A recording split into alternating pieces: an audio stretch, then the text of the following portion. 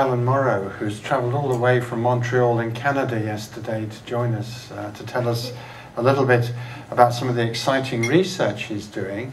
Um, Alain has got wide interests in the field, but uh, he's going to concentrate a bit today on some of the, his work on some of the molecular findings, which look very exciting, involving micro-ribonucleic acids uh, in the circulation. So thank you very much, Alain, firstly for coming, and secondly for introducing this exciting new uh, epigenetic topic for us. We look forward to hearing from you. Thank you very much, uh, Professor Holgate, for your kind invitation, as well as uh, the team. This is a very uh, wonderful conference, so it's my pleasure to be here today. Um, there's many things that we can talk about ME, and a lot that are not uh, discovered yet. So I will talk about circulating microRNA, which is uh, a new beast uh, in the playground of ME-CFS that could be of some interest. Here are my disclosure. First of all, I'm a newcomer in, into the field of uh, ME-CFS. I've been attracted by friends and family that pushed me in. And I find it very fascinating and uh, to uh, use a, a, sentence that my dear friend Professor Davis in Stanford used to say, ME-CFS is probably the last 21st century medical enigma.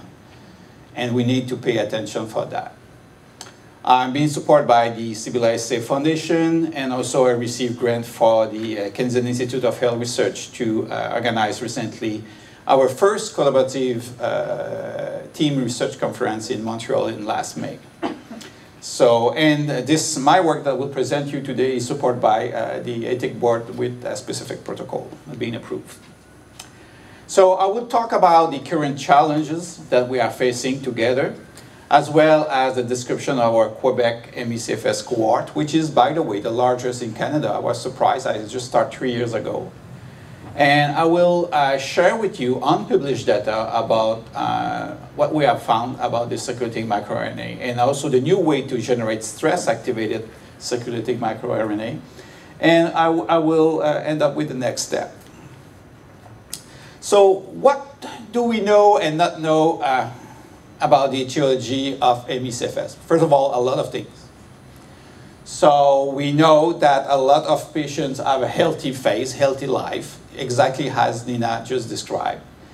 And they often face some or encounter some triggers events, all, a lot of uh, viral infection of bacteria, but also could be also associated with some uh, chronic exposure to different chemicals. And what is unclear, although uh, there are some family history of ME, so we are suspecting a genetic predisposition for the disease. And some patients really also uh, were lucky to have a remission for sometimes very long period. But they also relapse. And, and what also uh, triggered the interest is whether there are also some disease modifier and repeat infections or exposure to different chemicals that also will lead to disease progression. So this is so far what we are understanding, and I can use the same slide for any other complex diseases. What is also particular to ME-CFS is this gene-environment interaction. Gene-environment interaction in ME-CFS is very, very important. We cannot overlook that. Because we are studying from genes to mRNA to protein to metabolite and all together that generate what we, we call in science a phenotype. So why you are sick like, like that, what you are developing this and that symptoms. This is your phenotype. We add also recently the microbiome. So you have a lot of billions of micro, uh, microorganisms in your, in your saliva or intestine that can also behave differently in response to uh, the environment. So we cannot just rely on genomics or genetics. Why? And this simple example I'm sharing with you today is the caterpillar and the butterfly if I extract pure gen genomic DNA from both uh, species here, okay, you will see the same because they are technically the same. But the phenotype, the end product is not the same. So we need to understand that, and we know that the caterpillar will become a butterfly due to change in the environment because in the cocoon there will be some different hormones and different heat and different things that will trigger some genes and turn off other genes. So you guys, suffering of ME, you are a caterpillar and a butterfly. That's a good image. You are a butterfly. So we need to understand that. So we cannot neglect the interaction gene and environment, and there are tools for that today to address that. Speaking about tools, so this graph describes the complexity and also what we can learn from different omics approach. So if you are looking about genomics, we, are, we know today that we have in our body about 22,000 genes. And those genes will be uh, transcribed in about 150,000 transcripts, so the messenger RNA, that will have different form and types, will lead to the production of protein, so what we refer to proteomics, which about 1 million protein. Why we have more proteins than genes is because they are translated by different promoter, they have some different splicing events that have different form of the same proteins, and they also they have some what we refer to post-translational modification. So we add different uh, chemicals like phosphate that will inactivate or increase the activity of some of the protein, and we end up with the smaller part of metabolomics, about 2,500 metabolites, so very, very small molecules uh, that leads to what we are. So how can we discriminate? So of course the complexity is increasing toward the metabolomics, but also from the genomics is the kind of promises. What could happen? You may have a mutation, a rare variant, but you are not sick or you're not sick yet. We don't know.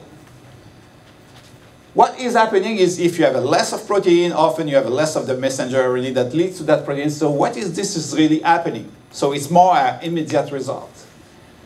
Proteomic is probably what is causing ME/CFS like any complex disease. If you have a change, you have abnormal proteins, abnormal accumulation, your protein is, is there but in the wrong cellular compartment, you may be in trouble. And also metabolomic is often the end result of all those reactions. I'm not saying that some small molecules are not causing ME, it's possible, but often will be just the reflection of what is happening at the end. So it's even more complicated if I bring you to your single atom and say, hey, you have more magnesium. Okay, what? Why? And is it wrong or, or, or right to have more magnesium or more uh, homocysteine or other small metabolites? So really, we need to address everything. And speaking about addressing everything, ME/CFS is really the elephant in the room. I'm sure you have seen that cartoon before. I'm not using this cartoon to laugh about scientists or clinicians. I'm using that cartoon just to depict, to describe a reality. The bad news is, linked to this elephant in the room is our technological choices too often blind us of other possibility. If you're a Trump expert, you will look at the Trump on all the ways possible, but you miss the other part of the elephant. If you are a specialist that speaking about metabolomics, sometimes you won't have the same language that you can share with dermatologists, with GPs, or with other clinicians. And of course, wherever you are looking and with very sophisticated tools, those tools are more expensive. And we heard that it's very difficult to get funding in UK, Canada is the same, and even in the United States, so and even across Europe. So, so the limited funding will have an impact on the choice of the technologies, and also that will lead often to study with small cohort, which a big nonsense why? Because the big clinical heterogeneity of ME/CFS. And a lot of studies have been published by well-established researchers with 12 patients. Even if you spend $100,000 or pounds on 12 patients over a year, you will have the result that could be important for these 12, but that will be impossible if you have to deal, let's say, with four or five different subgroups among those 12. So that's the dangerosity of lacking funding. We need more funds for, for, for sure, and that will lead for all the reasons above a lack of reproducibility. The good news, we're covering the whole elephant. And that's why collaborative research is important. The elephants are difficult to travel. We cannot assess and see all the same patients. But samples can travel, data can travel, knowledge can travel. So that's why collaborative research is a key ingredient to be successful to decode ME/CFS. These days, there are a strong desire to establish collaborative effort, and this event today is a proof of that. And also, the tide is uh, changing. Major granting agencies in Europe, UK, have been told that and also in Canada are uh, really interested to launch new funding initiative for that. So uh, timing is everything, but I think we are, this event arrived at the right moment. But as I told you, we are dealing with different type of elephants. By the way, I'm working in a pediatric hospital, so that's why you see this funny cartoon, okay? So, so there is some uh, side effect of working in a pediatric hospital. So we have to deal with different elephants, and we need to recognize that. Not just clinically speaking, but scientifically speaking. So that's why the size of the cohort is very important. So the issue about how to select and compare is, of course, a lot of research have been based on clinical definition, and there is no test. So we are lacking real clinical definition. So you, you, we are using Fukuda, Canadian, and other international standard to try to put you a tag, oh, you're a ME or you're not a ME. So this is different, and that would change. Because if we use the standard, the clinical standard from the past, present, and maybe the future, your cohort may already change. Small cohort is, is very dangerous. We are also to address the changes that can be linked to different ethnic backgrounds, and also the fact that we are also assessing the same patient, not really the same patient, but with different omic approaches. So which is the best one? I would say the best one will be to have every, all the techniques available for all the patients. But we have to be more pragmatic at some point. That's why, again, collaboration is important. ME is also occurring in aging population, which means you will not find pure ME disease state. So there will be some comorbidities, so that will be ME plus osteoarthritis, osteoporosis, also some cardiovascular conditions, cancer, so a lot of things that will go on. So we need to address that, plus the fact that ME patients in particular are using different medications. In our cohorts, we have patients taking nine different medications. So I cannot remove the nine medication at the time of the test. So I need to find ways to neutralize or at least to integrate all these information and effects. Plus the fact that there are uh, differences between male and females. Women have more often ME than males, like a lot of musculoskeletal diseases. So we need also to understand that and also the influence of aging on ME. Plus, all the triggers in the environment, virus, bacteria, uh, chemicals, stress. One funny thing recently, Professor Davis presented data about the viral, the number of virus present in ME and control. And he discovered there are more virus in control than in ME. So I'm not saying that you develop ME, uh, uh, the viral infection is not important. It's probably highly important. But again, it depends what are you chasing and if you chase something that happened 20 years ago, is maybe too late. And we should look maybe about whether or not the virus is now not circulating in your body, but maybe integrated in your genome and doing all other funny things in the regulation of some of your genes. So this is an unknown part that we should, we should look. So as a newcomer, and as a scientist, we developed some hypotheses to address the disease. And one of the hypotheses that we put forward is the fact that we believe that AME is caused by a disturbance in the expression of small non-coding molecule called microRNA, which modulate immune function, energy metabolism, and physiological stress response.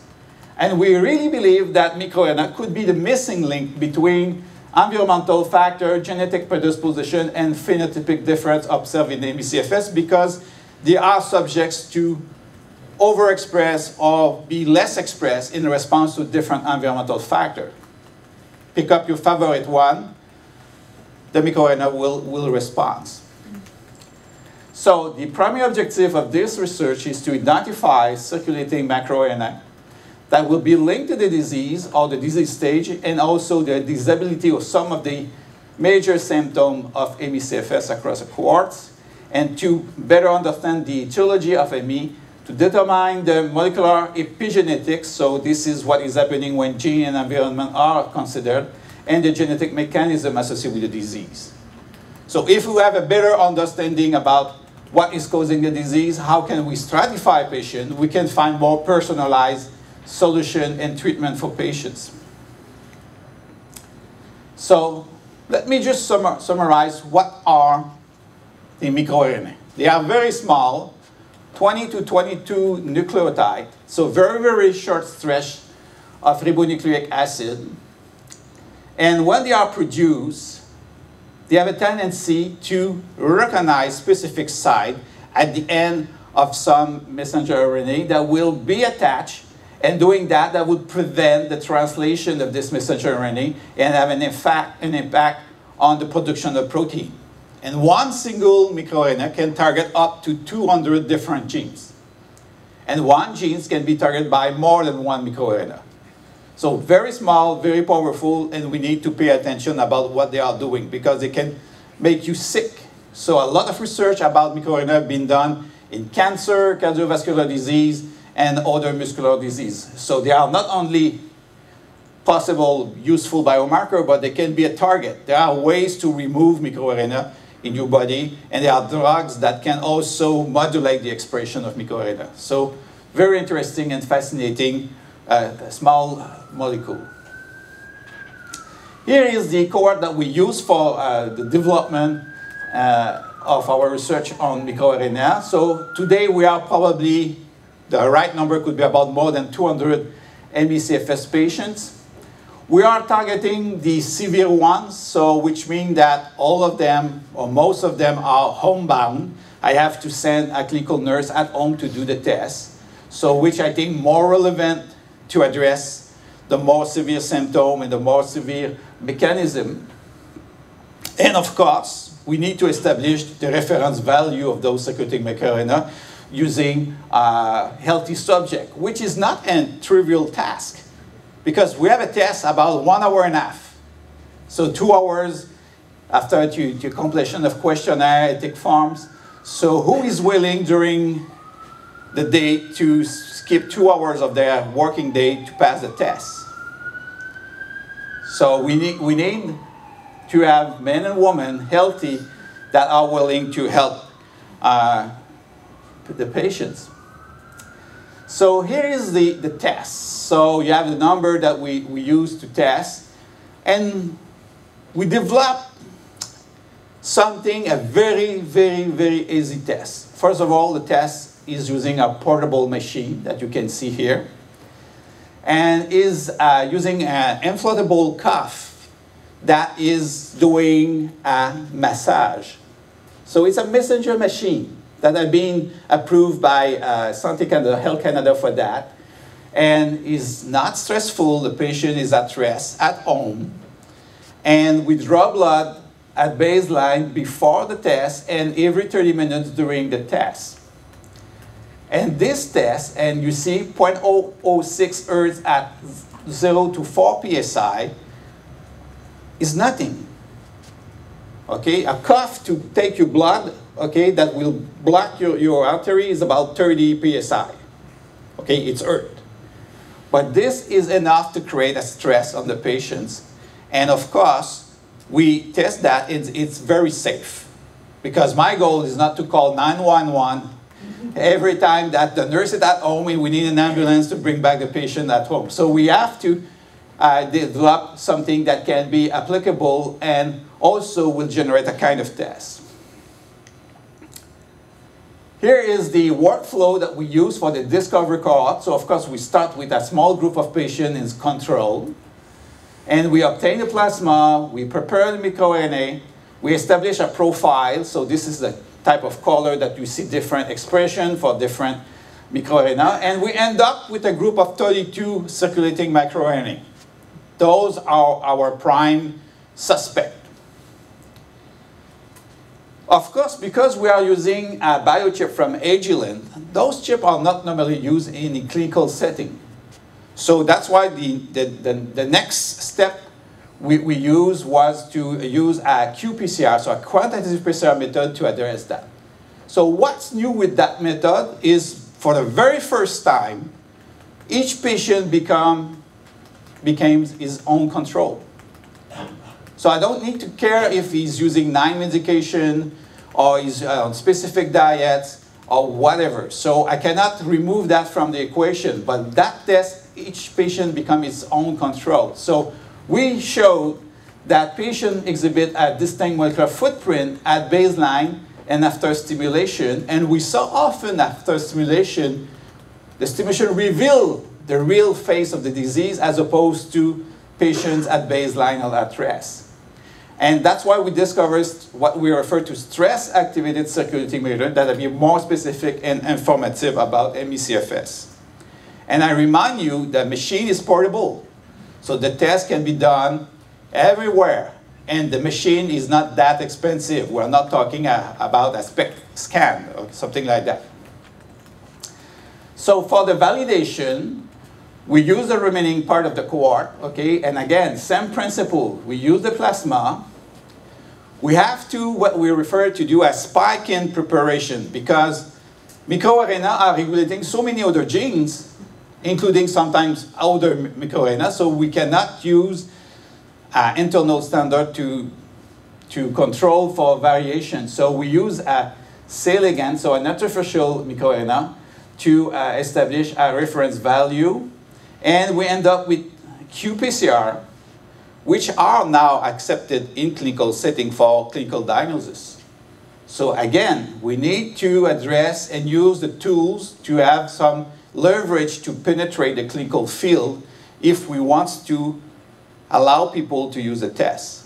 We need to plan that from the beginning. It's easier than you have a sophisticated tools, but nobody can understand the machine or buy the machine. This is a machine using for different other tests. So I will not explain the 32 microRNA for the time because you will be uh, fed up of me. But I will show you some of them to convince you that we are probably on the right track. First, I will talk about the MIR 127 3P. So they have this type of name. This MIR has been uh, previously discovered and, and, reported in the Australian cohort. So when we pick that one, we say, okay, we are probably on the right track.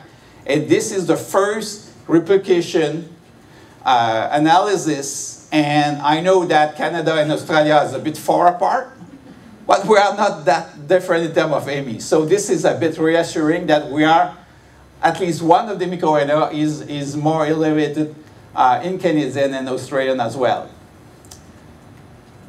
The MIR 127 3P negatively regulate a gene called BCL6, which is known to uh, inhibits, amongst other, uh, interleukin-10 genes, and that's gene code for a cytokine that has been found elevated in cerebrospinal fluid of ME/CFS patient. So a relevant microRNA, a relevant target, and you see here the results. So those are the whole ME patients together versus the control at baseline and the ME patient after stimulation and control after stimulation. And on the B panel, you see what we use, what we call a ingenuity pathway analysis, where you can see that your microRNA is identify the target and the target is known to identify interleukin-10. So there are other targets, but that type of analysis can open. So if in the room we have people that are thrilled about interleukin-10, you have a prime suspect that term, uh, interleukin 10 here. One or another uh, microRNA that is a bit, a bit fascinating for us is MIR145P. You can see that is highly elevated for older ME, a group of ME at baseline, as opposed to the control, and you see the difference also after the stimulation. And what is very interesting about that one is is targeting a gene called C CD20, which is the target of rituximab. CD20 is expressed at the uh, surface of lymphocyte B, and this is where rituximab is kill the lymphocyte B or deplete the lymphocyte B using this receptor. Now, one of the problems that you can see is if I overexpress this microRNA, the target of rituximab will disappear. This has been known and noticed in cancer and could explain why rituximab is not work working in many, at least in some of uh, ME/CFS patients. This is probably very important. Again, we are dealing with different type of elephants. So if you know that you are a high 145p elephant, I won't treat you, I shouldn't treat you with rituximab. But if you have a low one, maybe rituximab can be very effective for you. That's changed completely at this at clinical trial design, knowing that. So this is not, again, this is my warning side. This is not a foolproof. But this result, and I will present next week to uh, Hans Flu, I think he will jump from his seat when he see it. You are the first one so seeing that, okay? So very promising, very exciting, okay? 155, oh, by the way, if you look about those microRNA, because I know you guys that you will go right away on PubMed, especially with our, Google, uh, uh, Google Scholar, you will see that none of those microRNA are disease specific. Okay, I'm not saying that we will find out a one specific one. It's impossible probably because we are dealing with a complex disease. So don't, don't send me an email saying, hey, Dr. Moreau, this is not disease specific. I know it. and I know you guys because you are already watching what I'm saying. But we saw that higher uh, expression is detected in stimulated patients compared to control. And what is very interesting is when we look about the different questionnaire that being completed by our patients, we saw that the patients that have a very high expression of this microRNA have a better mental health. They have a better mental score. So very, very interesting. So one question I asked to my team is why? And the why came from this IPA analysis that this MIR155P is targeting a gene called SLC6A2, which is a molecule, a, um, a multipass membrane protein that is responsible the reuptake of norepinephrine in presynaptic nerve. And doing that type of research, we rediscover the work of Arnold et al. They published the use of a drug that can target the very same genes called S-duloxetine. And the study, if you look at that study, they end up with the same conclusion. This drug has no effect on the primary endpoint, what, which was fatigue, but seems to have very uh, strong efficacy to improve mental health of patients. So, different approach, different clinical setting, different cohort, and we indirectly prove they were right, that this is indeed seems to have an, an impact by targeting the very same genes. Again, if you are a high pro producer of this microRNA. You don't need to take duloxetine because you will have probably, your mental health will be improved uh, right away. Same story, different elephant, different symptom. So we can, now can do more targeting approach to achieve that. The last two slides will be more provocative, if it's not enough for you again. One of these uh, microRNA called 20, uh, uh, 374B5P, and this exp the expression of this microRNA uh, showed very low in women suffering of fibromyalgia related disease. And the level of this microRNA is inversely, inversely correlate with pain threshold in fibromyalgia. Interestingly, in ME is going in the opposite direction. So it's more expressed. And we just put here, so we compare 62, 68 FFM patients to ME at baseline, and you see the big difference as opposed to control. So this is very intriguing because we have a, a microRNA going in the opposite direction. We know there's less pain in ME than fibromyalgia. And now we may have a tools to select more clearly, at least at the molecular level, FM from ME using that.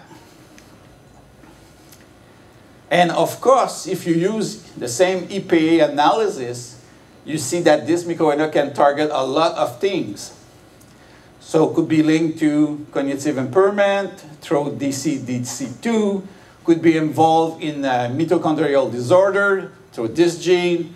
So those are predicted targets. We need to validate them. And we need to check which type of tissue that can be relevant. Interestingly, it's also target a gene called TTPA, which is involved in vitamin E transport. So that can be sometimes relevant. We need to explore that. The last one that I will uh, share with you this morning is MIR 486-5P. So it's targeting, has been in, in cancer with the target genes like PTEN and PI3K signaling pathway. But what is also very intriguing is endurance athlete possess higher whole blood level of this microRNA compared to LT control, and this MIR seems to correlate to VO2 max we know that VO2 max of ME are very low. You lack that capacity. So this is very intriguing, and a lot of researchers in the field compare ME CFS patient as an athlete based on some metabolic marker, but we know that you are not athlete. But you, you react like an athlete after a very strong effort, even though that you are doing nothing. We need to understand that. And this is what this microRNA is also indicating to us. So again, is also associated with different transport of magnesium, cobalt, uh, ferric, also involved in IgE response. So the allergic link could involve directly or not this microRNA also uh, involved in uh, different uh, other functions. So again, we need to explore that in more detail, but I think we're following very promising leads uh, that. So to understand where we're doing with that, why we're measuring microRNA baseline and after stimulation, these tables show that we are dealing with four different subgroup of patients. The number are not important. So if you're in the back, you are not seeing the screen, forget it. It's okay. What is important is can you see the different colors? So this is a group of patients that share more or less the same response. Where is identified here is the percentage of gain or loss if I compare the response after the stress, the stimulation, and baseline. So blue are positive, and the yellowish one you see a down regulation. So I'm producing less after the stimulation and in blue more after the stimulation. You see that all the patients that we have tested so far, we can compile them in four different subgroups based on the colors that are shared here. You don't need to have a doctorate for Oxford to understand that. I hope so. Okay? So, so we are dealing with four different group of elephant here. This is the meaning of this cartoon. Okay? If I look back and ask the patient their response to the test. You see this group also were the most affected. They have a lot of uh, more tired uh, as opposed, and the less affected one is this group. If I ask them additional questions, not based on the questionnaire that say how you were during the last six weeks or six months, but immediately, few days after the test, the group one is again the more severely affected, with 20% of them report mental fogginess, 20% vertigo, dizziness, which is unique to this group, as opposed to the other group that are different type of symptom. And some of the patients, 24 something overall, have no symptom at all, which is something important for us. So the test is not pushing them. I can change the setting of the machine, obviously, but I don't want to push the 76% in the hospital doing that. So it's, I have to, to select what my intent. How can I explain the mental fogginess and vertigo? Of course, we use different markers and we look uh, at the biochemical level and we discover one called thrombospondin 1, which is an anti-angiogenic factor, which will modulate okay, how your blood vessel will respond. So if I overexpress TSP1, among other, I will have an effect and I will create a constriction of your vessel, especially the small one. We had the result before, but we didn't have the classification here. And this group 1 is the one that really overexpress TSP1 as opposed to the group 4 or controls. Again, keep in mind my warning. This, these are not fully validated data. But again, the fact that I have something that can constrict your blood vessel could bring you more mental fogginess and vertigo, which make a lot of sense. And we know that a lot of patients have some abnormalities in terms of the brain blood flow. So now we need to explore and check whether those patients have those brain blood flow abnormalities as opposed to this subgroup. So I think this is the value of what we are proposing this morning in terms of the test can give you a new illumination what, what is happening at the biochemical level, what is happening in terms of molecular stratification of ME/CFS patients, because they are not the same. And for the very first time, because we, are, we may agree one day, maybe not this morning, but one day, that the test can be combined with other. If you look about the genetics, if you look about whatever your favorite molecules, you may rediscover something that make a lot more sense for the patient and for the clinicians. So what are the next steps? We need, of course, to validate uh, the remaining circuiting mechanism that we have discovered, but on larger ME/CFS cohort. We also would like to replicate, replicate, and replicate. Those are keywords, very important to establish the relevance and also not only in Canadian, but also in other cohorts across the world. And of course, we hope that we can work together in a very collaborative manner. So in conclusion, I would like to acknowledge the patients and the community that are helping us to do these uh, studies, especially the Quebec Association, the Canadian Association, my uh, sincere thanks to the uh, Sibylla SA Foundation for their uh, financial support. And also, these are the bees doing the work, okay? and, and by chance, it's happening that it's only women, okay? So, so woman dominates my lab, so many thanks to my team. And I look forward to receive your question. Thank you very much.